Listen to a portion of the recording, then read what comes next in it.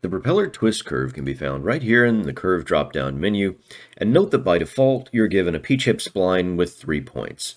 And that's a relatively simple, gentle curve that goes through the root, the tip, and this three-quarter position. Now recall from the design that we have the three-quarter pitch set to 20 degrees right now, which is effectively feathering at zero. And if we come in here and start to change this, say by moving either the position of this control point or the value, that is going to change the way that this twist distribution is lofted while maintaining a three-quarter pitch.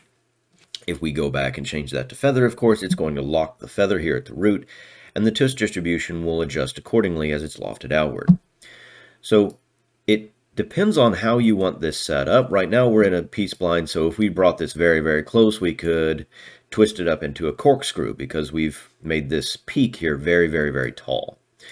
Let's make it something a little bit more gentle. And in the case of where you simply want a linear twist distribution from 0 to minus 20, maybe, you can either just convert to linear, or if you want to be very simple about it, delete that point, set these two values, and you're still fine. So that's how you can interact with the twist control curve. And really, the interaction with this window is the same as any of the others. You can split, you can add points, and you can control them with the sliders or with this window. It all works out, but that is how you can set your twist.